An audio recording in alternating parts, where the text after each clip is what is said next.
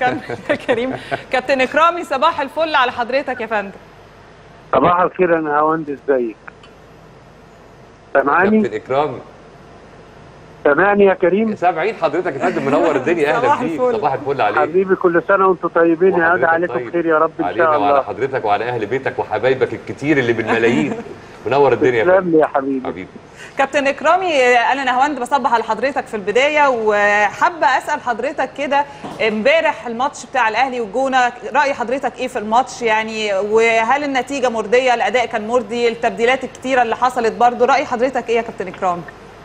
بسم الله الرحمن الرحيم. بالنسبة للمباريات الودية ديت نتائج لا تهم بمعنى إن أنا مش عشان جبت خمس تجوان أو أربع تجوان يبقى أنا كويس. لا ال- ال- الفكرة مش في كده. الفكرة في إن بيبقى فيه نوع من التطبيق الفكري للمدرب أو للمدير الفني بالنسبة لفرقته قبل انطلاق المباريات الرسمية يعني. لكن أنا شايف إن أداء النادي الأهلي سواء في المباراة دي أو المباراة اللي قبلها بتاعت سموحة لا أداء كويس ومبشر ومطمئن يعني إلى حد ما. وخصوصا كمان إن في تغييرات كتير بتحصل. فالمباريات الرسمية مش هيحصل فيه التغييرات الكتير ديت؟ فأنا شايف إن الأمور كويسة بالنسبة للفريق يعني إن شاء الفل. الله إن شاء الله اللي جاي كمان يكون أحسن وأحسن أنا عايز آخد حضرتك مؤقتا بره الكورة لو تسمح لي ونروح للسينما عشان حضرتك برغم مشاركاتك القليلة نسبيا في عالم ال- ال- السينما لكن كل دور عملته سبت فيه بصمة أنا شخصيا عندي فضول شديد عايز أعرف كواليس حضرتك مع النجم الكبير عادل إمام ومع الأستاذ فريد شوقي كان يا رب. ولد كان يا رب. ولد أيوة، تقريبا صح. ومدام كريمة مختار أكيد كواليس الفيلم ده لازم يكون فيها ذكريات جميلة كتير. طبعا أنت يا كريم ما تقدرش ما تفوت ما تقدرش تفوت الفرصة. دي مش كده برضه؟ مش كده يا فندم؟ لا بجد بجد حضرتك سبت بصمة تحفة في الفيلم ده بدور خفيف وكوميدي. فذكرياتك إيه؟ وكواليس. العمل ده كان عامل إزاي؟ بص يا حبيبي هو طبعا أنا أنا آه، على وقتنا الكلام ده من في في, في آخر السبعينات يعني.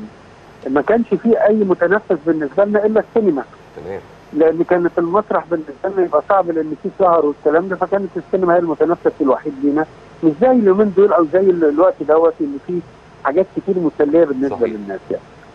أنا أنا السينما يعني آه، وبعدين لما اتعرض عليا الفيلم بتاع يا راجل فقد عقله وفوجئت إن أنا هشتغل مع آه الله يرحمه رحمة الله عليه فريد شوقي. عادل إمام سهير رمزي الله يرحمها كريمه ماما كريمة طبعا طبعا الواحد صعب انه يرفض حاجة زي كده يعني. أنا كنت بدفع فلوس عشان أروح أتفرج عليهم بالساعتين. صحيح.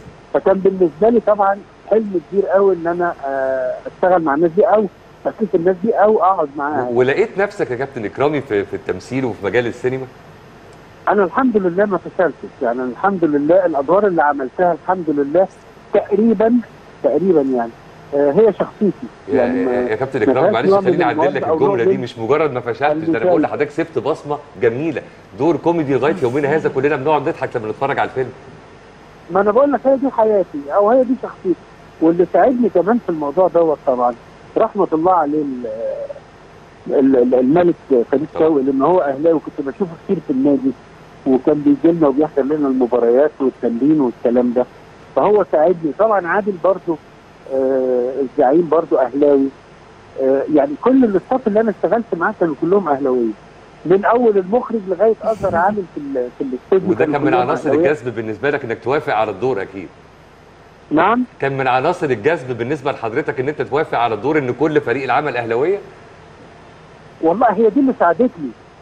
لكن هو كان الدور الدور كان مكتوب ليا. يعني مكتوب لاكرامي حارس مرمى النادي الأهلي. تمام. خلاص لما بدأت أقعد مع الناس فوجئت إن في نوع من الحب والألفة آه، رهيب جدا يعني. فدي اللي هونت عليا أو دي اللي أخرجت الرهبة من من جوايا يعني. لكن طبعا كان في مواقف كتير بتحصل آه، سواء في في ال- في التمثيل أو في ال break.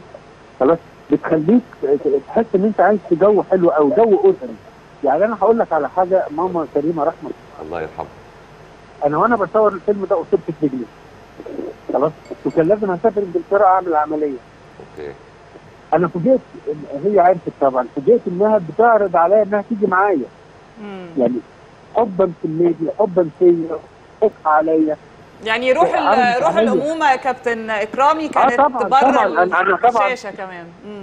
أنا كنت سعيد جدا وأنا بشتغل معاها يعني فعلا ست رحمة الله عليها ست عظيمة الله. يرحمها دي حقيقة أنا عايزه بكل الأم المصرية فعلا يعني عايزة أسأل حضرتك كابتن إكرامي لأن يعني يمكن آه، أغنية آه، آه، عادل إمام فنان عادل إمام لما كان بيقول أنا ركبي حديد والأهلي حديد دي لحد دلوقتي كلنا بنغنيها وبالذات في الماتشات.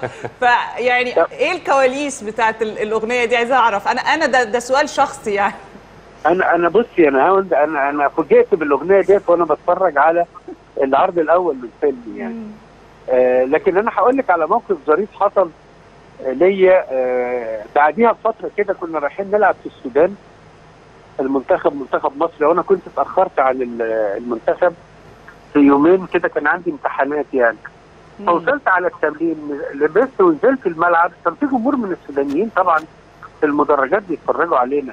فوجئت إن أنا أول ما نزلت الجمهور بيغني أنا أهلي أنا ركب حديد والأهلي حديد. يعني دي من كان من الحاجات اللي أسعدتني جدا يعني. وبعدين ال- ال- ال- الأغنية ديت فعلا عادل عادل عملها. بشكل حلو قوي آه دي بحيث حقيقه انها تبقى عالقه في اذهان الناس فتره طويله يعني. لا واجيال ورا اجيال دي طبعاً. حقيقه صحيح. طيب كابتن اكرامي مش هينفع ان إحنا نختم حضرتك غير لما اخد رايك في الافتتاح بتاع القناه قناه الاهلي قناتنا كلنا وراي حضرتك إيه وهل تابعت الافتتاح من بدايته وهل في حتى آه، مقترحات يعني خلينا نسمع من حضرتك قامه كبيره نحب برضو نعرف رايها اتفضل يا كابتن اكرامي أنا في